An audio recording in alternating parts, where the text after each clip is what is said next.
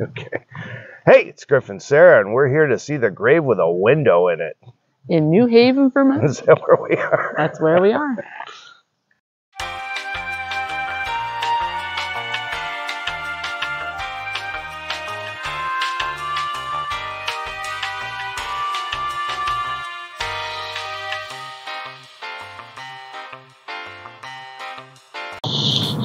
All right, we're going up to New Haven uh, in Vermont, and there's a cemetery there that has a grave with a view.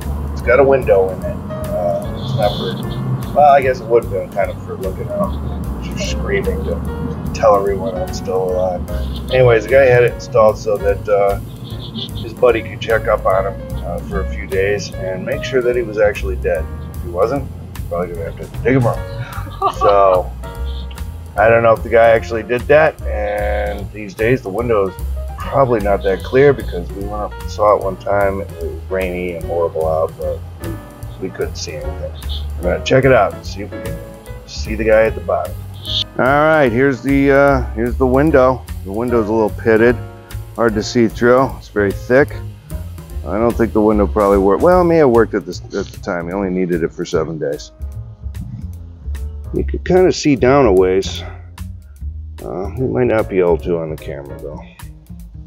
All right, well here's the overall grave.